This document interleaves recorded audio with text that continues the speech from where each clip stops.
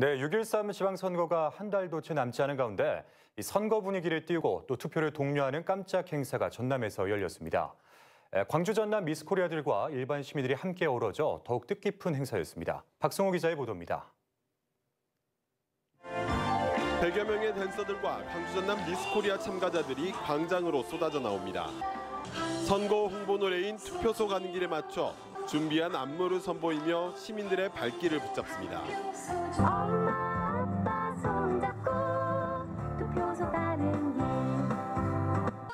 전남 선거관리위원회가 아름다운 선거 프로젝트의 일환으로 마련한 플래시몹 공연입니다.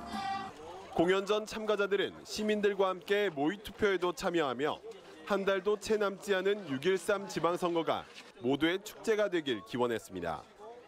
오늘 이렇게 탁 트인 공간에서 투표를 해보니까 참 뜻깊은 경험이었습니다.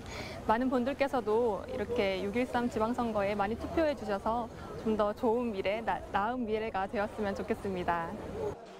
지난 2014년 열린 지방선거 투표율은 광주 57.1%, 전남 65.6%.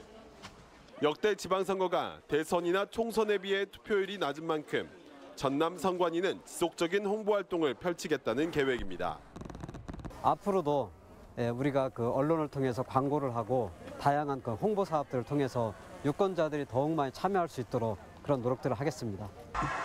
이번 퍼포먼스는 영상 콘텐츠로 제작돼 SNS와 유튜브 등 선거 열기를 높이기 위한 인터넷 홍보용으로 활용될 예정입니다. KBC 박성호입니다.